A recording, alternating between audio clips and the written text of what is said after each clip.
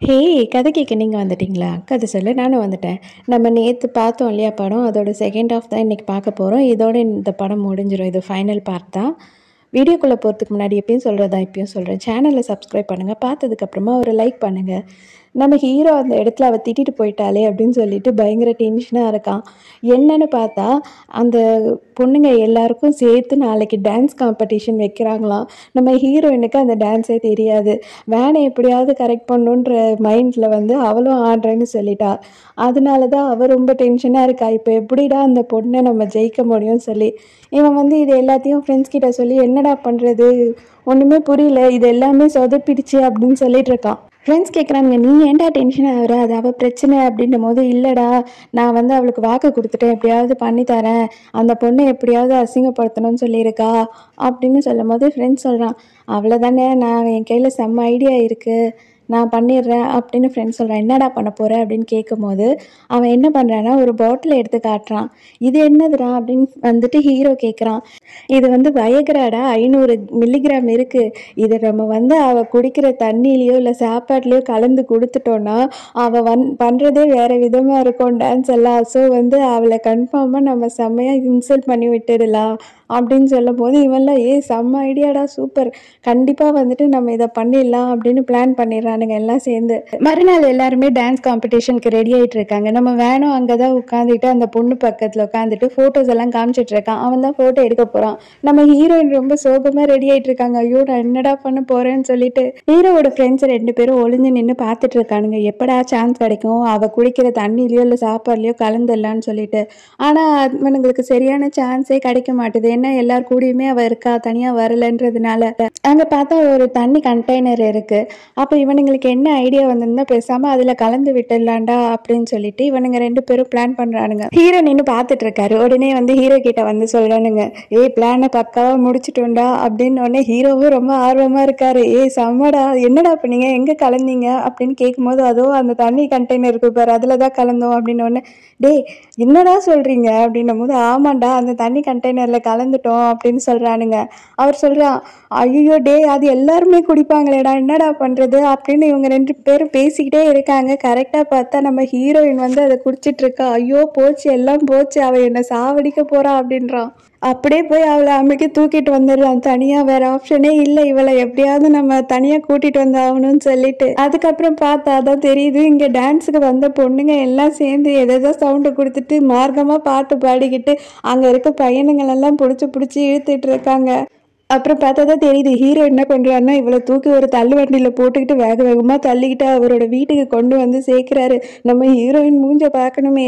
அவளா எதுவுமே புரியாமல் தலை சுற்றி போய் கிடக்குறா. நமக்கு என்னடா பண்ணுது அப்படின்னு சொல்லிட்டு. அங்கே இருக்க ட்ரம்மில் தண்ணியை வாரி வாரி மேலே ஊற்றிக்கிறான் ஹீரோவா பக்கத்தில் நின்று சிரிச்சுக்கிட்டே இருக்கான். அம்மா என்னம்மா இப்போ பரவாயில்லையாம்மா உனக்கு? ஜாலியாக இருக்கா? சூப்பராக இருக்கா? அப்படின்னு கிண்டல் பண்ணிட்டு இருக்கான். இருக்க காண்டில் உன்னை கடிச்சு கொண்டுடுவேன்டா ஜாலியாக இருக்கா அவன் கேட்குற உனக்கு எவ்வளோ கொழுப்பு இருந்தால் இந்த மாதிரி பண்ணியிருப்ப நீ அவளை அசிங்கம் பண்ண பார்த்தியா இல்லை என்ன அசிங்கம் பண்ண பார்த்தியாடா நீ எனக்காக தானே பண்ண வேணும்னே அப்படின்ட்டு இவ கத்துறா. உடனே அவன் சொல்கிறான் உனக்காக நான் பண்ணியிருந்தா உன்னை அங்கேயே விட்டு நான் வேடிக்கை பார்த்துல சிரிச்சிருப்பேன் உன்னையே நான் காப்பாற்றிட்டு வரேன். உனக்கு அறிவு இல்லை. நாங்கள் தான் தெரியாமல் எல்லாத்துலேயும் தண்ணியில் கலந்துட்டானுங்க பசங்க.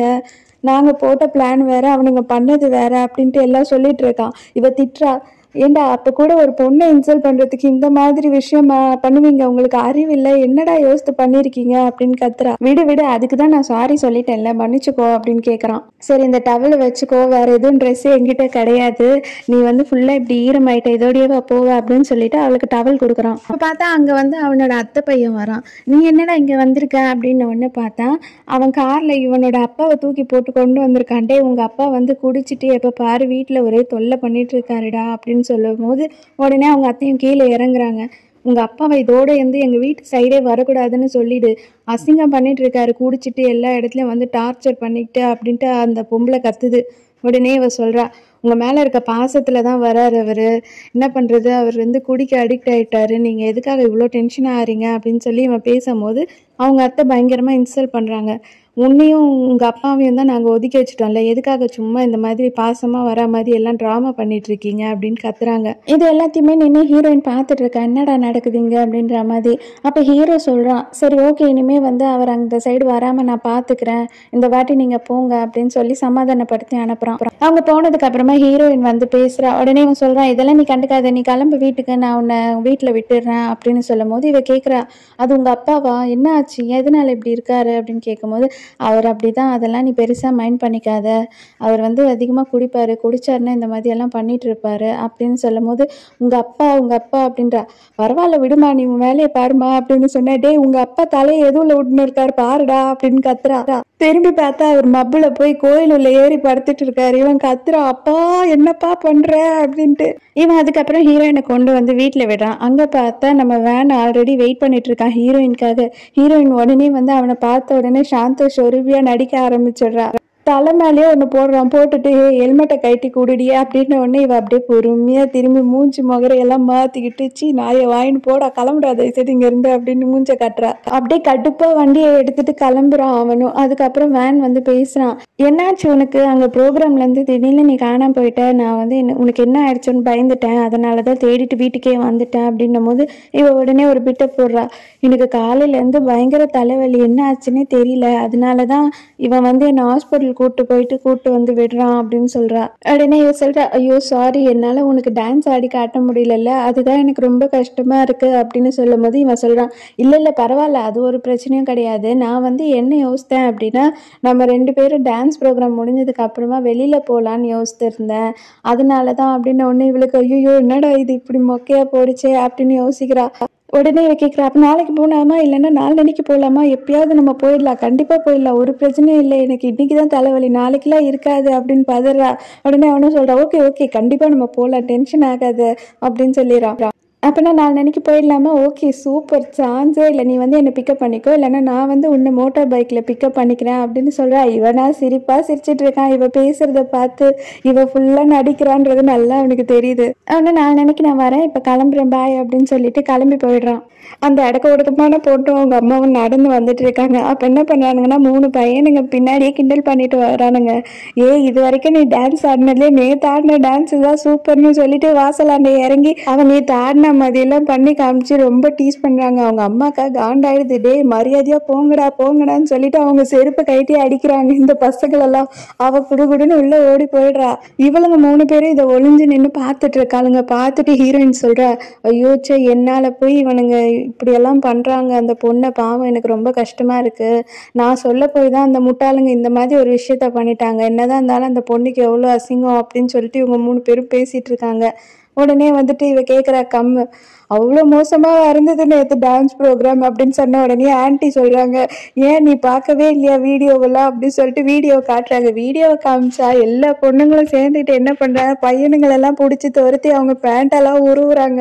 ஆம்பளைங்கள்லாம் வந்து இழுத்து பிடிச்சிக்கிட்டு ஓடுறாங்க பேண்ட்டை அவரால் முடியல. அதுவும் இந்த பொண்ணு தான் ரொம்ப பண்ணியிருக்கு சொல்கிறா ஐயோ இந்த மாதிரி நீ பண்ணியிருந்த வீடியோ வந்திருந்தா எப்படி இருந்திருக்கும்? யோசித்து பார்த்தியா? அப்படின்னு சொன்ன ஒன்று தான் ஐயோ நல்ல வேலை அவன் நல்லவனாக இருக்கவே என்னை காப்பாற்றிட்டான்ல அப்படின்னு சொல்லிட்டு பேசிக்கிறாங்க. இங்க பார்த்தா ஹீரோ வந்து செம்மையா குக் பண்ணிட்டு இருக்காரு ஹீரோயினை வந்து மொபைல்ல கொடுக்குறா.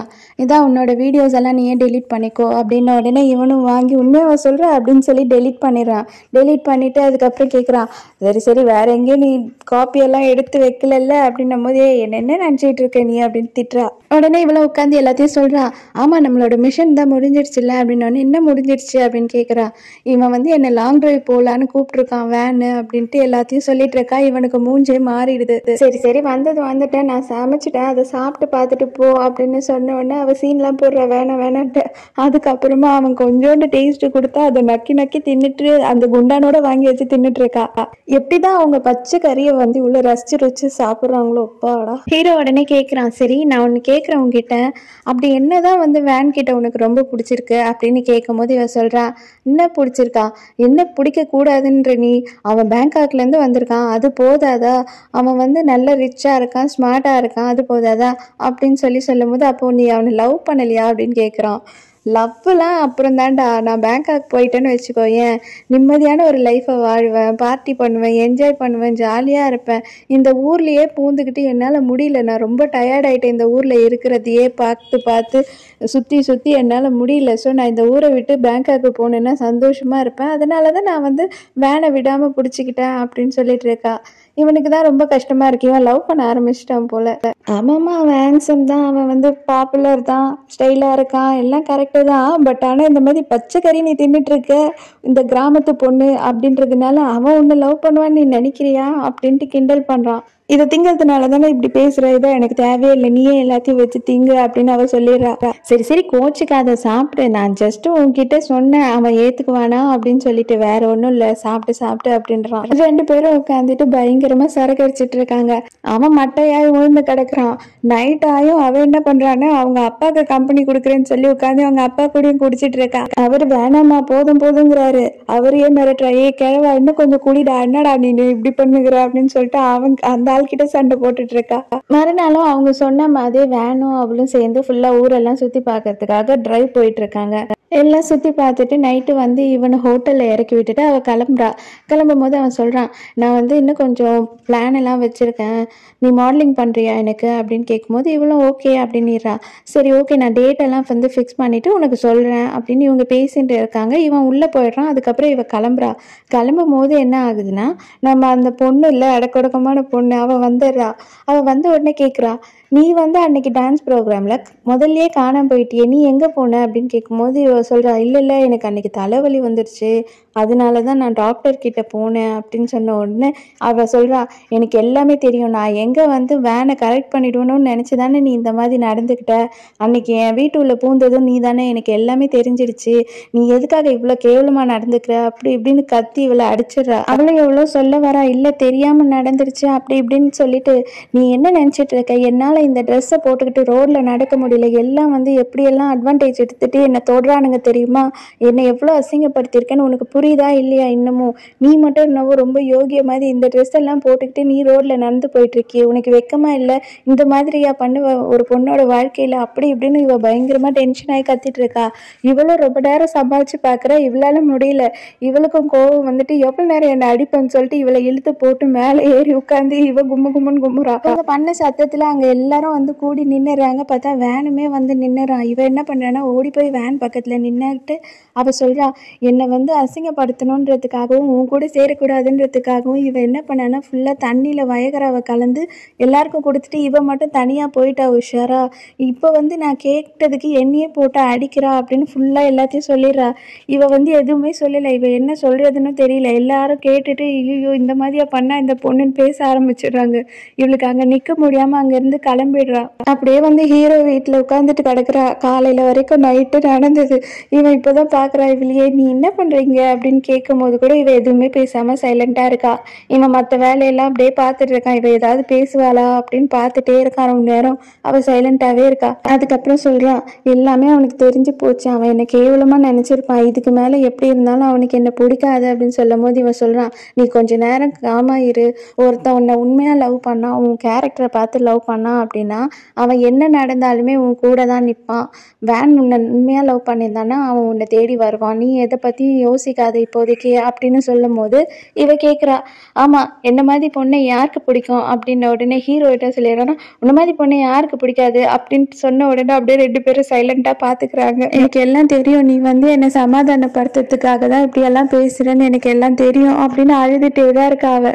சரி வா நீ என் கூட கிளம்பி வா. நான் உன்னை ஒரு இடத்துக்கு கூட்டு போகிறாங்க கூட்டு போனேன் அப்படின்னா நீ செம்மையாக என்ஜாய் பண்ணுவேன் இது எல்லாத்தையும் மறந்துட்டு ஜாலியாக இருப்ப. நீ வா அப்படின்றான். இவ சொல்கிற நான் எங்கேயும் வரல அப்படிங்கிறா. இல்லை நீ வந்து தான் ஆகணும் அப்படின்னு சொல்லி இவளை கம்பல் பண்ணி ஒரு இடத்துக்கு கூட்டிகிட்டு போகிறான் அது என்ன மாதிரி இடம்னா அந்த கிராமத்து மக்கள்லாம் இருக்காங்க இல்லையா? அவங்கெல்லாம் ஆடி பாடி அப்படியே சரக்கு அடிச்சுக்கிட்டு ஒன்றா சாப்பிட்டுக்கிட்டு ஒரே என்ஜாய் பண்ணிட்டு இருக்காங்க. அவங்க வந்து எல்லா ஸ்ட்ரெஸ்ஸையும் மறந்து இங்கே ஜாலியாக எல்லாரும் ஆடி பாடி சந்தோஷமாக இருக்காங்க. இந்த இடத்துக்கு கூட்டிகிட்டு போகிறான் அப்போ எல்லாரும் சொல்கிறாங்கம்மா நீ என்ன சோகமாக இருந்தாலும் சரிம்மா. இங்கே வா இதை குடிச்சிட்டு ஜாலியாக நம்ம என்ஜாய் பண்ணலாம்னு சொல்லிட்டு அது வந்து நாட்டு சரக்கு போல். எல்லாத்தையும் கொடுத்து ஒரே ஆட்டம் தான் இவங்க எல்லாரும் சேர்ந்துக்கிட்டு ஒரே டான்ஸு பாட்டு நம்ம ஹீரோயின் வேணாம் வேணாம்னு சொல்லிட்டு அதுக்கப்புறம் தான் அவள் குடிக்க ஆரம்பிச்சா நிறுத்த மாட்டா இல்லையா? அவள் குடிச்சிட்டு மைக்கேல் ஜாக்சனுக்கு தங்கச்சி மாதிரி ஆடிட்டு இருக்கா. அதுக்கப்புறமா நம்ம ஃபுல் மட்டையாய் படுத்துட்டு கிடக்குறா. உடனே ஹீரோ வந்து கூப்பிடுறான். சரி சரி வா எழுந்து கிளம்பலாம். உனக்கு வந்து இந்த இடம் பிடிச்சிருந்துச்சுன்னா நான் நெக்ஸ்ட் டைம் கூட கூட்டிகிட்டு வரேன். இப்போ கிளம்பு அப்படின்னு சொல்லும் போது ஏ என்னால் எழுந்துக்கவே முடியல போ போடா அப்படிங்கிற. நான் உண்மையானுமே ரொம்ப மோசமான பொண்ணு இல்லை நான் வந்து சொல்லலைன்னா நீங்கள் இந்த மாதிரி விஷயத்தையே அவளுக்கு பண்ணியிருக்க மாட்டீங்க. அது எவ்வளோ அசிங்கம் அவளுக்கு. இது எல்லாமே வந்து என்னோட தப்பு தான். என்னோட செல்ஃபிஷ்னால நான் இப்படி பண்ணிட்டேன் அப்படின்னு சொல்லிட்டு இருக்கா. அப்படி அந்த வேன் கிட்ட என்னதான் ஸ்பெஷல் எதுக்காக நீ இப்படி பண்ணிட்டு இருக்க?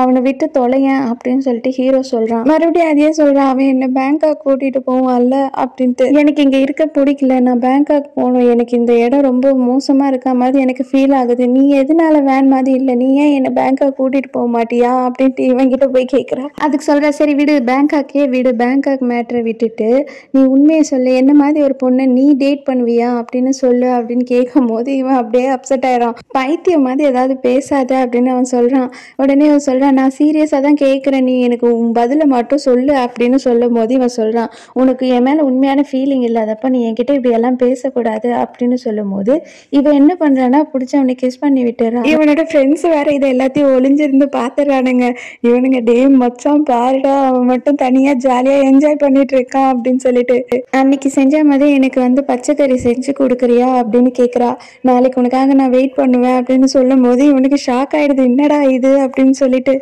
அவளை விட்டுட்டு இவன் வீட்டுக்கு போறான். வீட்டுக்கு போன உடனே ஃப்ரெண்ட்ஸ் வாசல்லே நின்று பிடிச்சிக்கிறானுங்க. டே என்னடா நாங்க கிஸ் மட்டும்தான் பார்த்தோம். அதுக்கப்புறம் நீ இவ்வளவு நேரம் கழிச்சு வரியே? வெறும் கிஸ் தானே? இல்லை அதுக்கப்புறம்? அப்படின்னும் போது டே கம்னு சரி நாளைக்கு எனக்கு வந்து ரா மீட் வேணும். அதுக்கெல்லாம் ஹெல்ப் பண்ணுங்க அப்படின்னு ஒன்று இவனுங்களும் ரொம்ப சந்தோஷமாயிடுறானுங்க.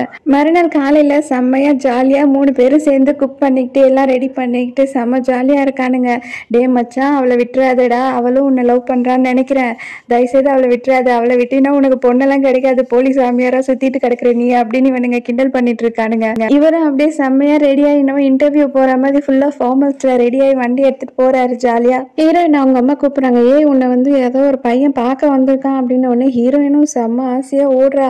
ஐயோ காலையிலேயே வந்துட்டியா அப்படின்னு சொல்லி ஓடி போய் நின்று பார்த்தா அங்க வேன் வந்து நிக்கிறான். அதுக்கப்புறம் இவங்க ரெண்டு பேரும் உட்காந்து பேசிட்டு இருக்காங்க. அப்ப அவன் கேட்குறான் எதனால நீ வர்றதே இல்லை? ஏன் என்னை பார்க்க வராம இப்படி அவாய்ட் பண்ணுற என்ன? அப்படின்னு கேட்குறான் இது பாரு வேன் உனக்கும் எனக்கும் சுத்தமா செட் ஆகாது. நீ நினைக்கிற மாதிரி பொண்ணு நான் கிடையாது. நான் வந்து அடக்க ஒடக்கமான பொண்ணெல்லாம் கிடையாது. இங்க வந்து நல்ல ரவுடித்தனம் பண்ணி சுத்திக்கிட்டு இருக்க பொண்ணு தான் அப்படின்னு இவ சொல்லும் போது அவன் சொல்கிறான் இதெல்லாம் எனக்கு தெரியாதுன்னு நீ நினச்சிட்டு இருக்கியா?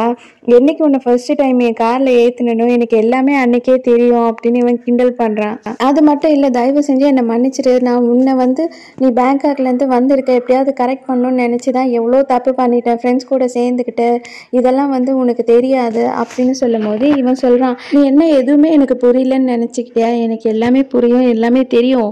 நீ வந்து பண்ண எல்லாமே க்யூட்டாக இருந்தது. எனக்கு ரொம்ப சந்தோஷமாக இருந்தது உன்னை பார்க்கும் போது எனக்கு பர்சனலாக உன்னை ரொம்ப பிடிச்சிருந்தது. அதனால தான் நான் வந்து உன் கூடயே எந்த நேரமும் இருந்தேன். எனக்கு உன்னை ரொம்ப பிடிக்கும்.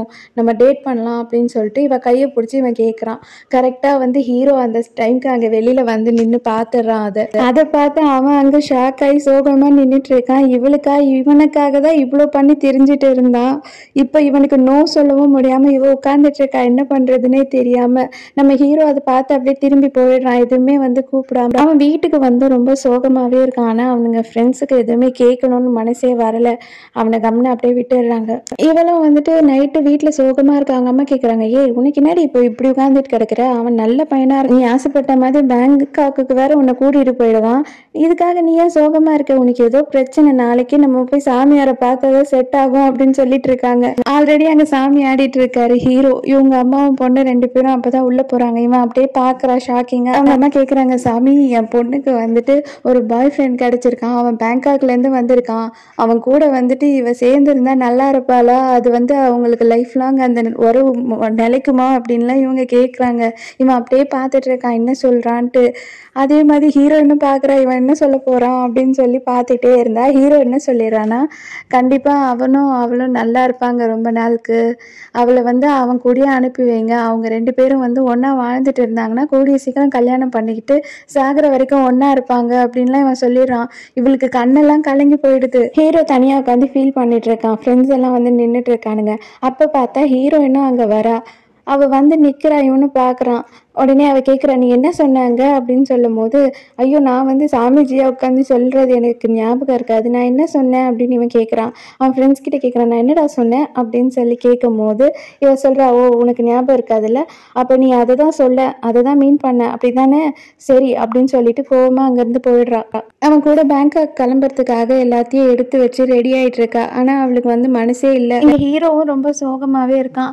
அ- அங்கே ஃப்ரெண்ட்ஸு சொல்கிறானுங்க டே இன்னைக்கு சம்பாய் வந்து பேங்காக் போகிறாளாண்டா உனக்கு தெரியுமா? அப்படின்னு சொல்லும் போது ஆ அதில் என்னடா இருக்குது வா நமக்கு எவ்வளோ வேலை இருக்குது நமக்காக எவ்வளோ பேர் வெயிட் பண்ணிகிட்ருக்காங்க இருக்காங்க? அதெல்லாம் பார்த்துட்டே இருந்தால் நமக்கு எல்லாம் மறந்து போகும்டா அப்படின்னு இவன் சொல்லிடுறான். நம்ம ஹீரோயினும் அங்கே கிளம்ப ஆரம்பிச்சிட்டாங்க. வேன் வந்து கார் எடுத்துகிட்டு வந்துட்டான். அவங்க அப்பா அம்மாக்கெல்லாம் அவள் பாய் சொல்லிட்டு கிளம்புறதுக்காக ரெடியாக இருக்கா. அப்போ வந்து ஹீரோ உட்காந்துக்கிட்டே இருந்துட்டு திடீர்னு அவனுக்கு வந்து ஏதோ தோண ஆரம்பிக்குது. வேக வேகமாக எழுந்து வண்டி எடுத்துகிட்டு போக ஆரம்பிக்கிறான். இவங்களும் கார் எடுத்துகிட்டு கிளம்பிடுறாங்க. கிளம்புன பிறகு இவன் இவனும் வண்டியில் பின்னாடி துரத்திட்டு வந்துட்டே இருக்கான். அப்போ என்ன ஆகுனா வேன் மட்டும் இவனை பார்த்துடுறான் பின்னாடி வண்டியில் வரான் அப்படின்னு சொல்லிட்டு. அவன் கத்திக்கிட்டே வர்றதும் இவன் நோட் பண்ணிட்டு இவன் என்ன பண்ணுறான்னா காரை வந்து செம ஃபாஸ்ட்டாக ஓட்டிட்டு போகிறான் இவன் வண்டி வேற பாதிலே நின்று போயிடுச்சு. அப்புறம் பார்த்தா அவன் ஃப்ரெண்டு டே நான் வந்துட்டேன்டா அப்படின்னு வண்டியில் வந்துட்டு இருக்கான். அவன் வண்டி பிரேக்கு பிடிக்காம நேராக வந்து சேத்துல விழுந்துடுறானுங்க ரெண்டு பேரும். அதுக்கப்புறம் பார்த்தா இன்னொரு ஃப்ரெண்டு வந்துடுறான். டேய் சூப்பர்டா அப்படின்னு சொல்லிட்டு ஓடுறானுங்க. அப்புறம் பார்த்தா தான் தெரியுது ஒரு பெரிய வேனில் வந்து ஸ்பீக்கர் செட் வச்சிருக்கு. அந்த வேனை எடுத்துட்டு வந்துட்டு இருக்கான் அவன் ஃப்ரெண்டு எல்லாரும் கத்திக்கிட்டே போறானுங்க. வேன் வண்டியை நிறுத்து அப்படின்றானுங்க. அதுக்கப்புறம் சம்பாய் க வண்டியை நிறுத்துன்னு கத்துறானுங்க.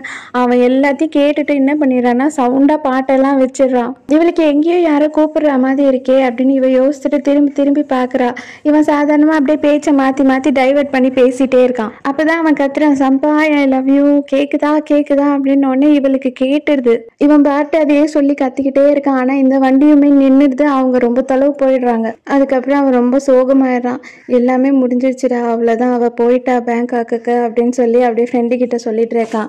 தொலைவில் இருந்து ஹீரோயின் மட்டும் ஓடி வரா. இவனும் பார்த்துடுறான் பார்த்த உடனே இவனுக்கு ரொம்ப சந்தோஷமாயிடுது.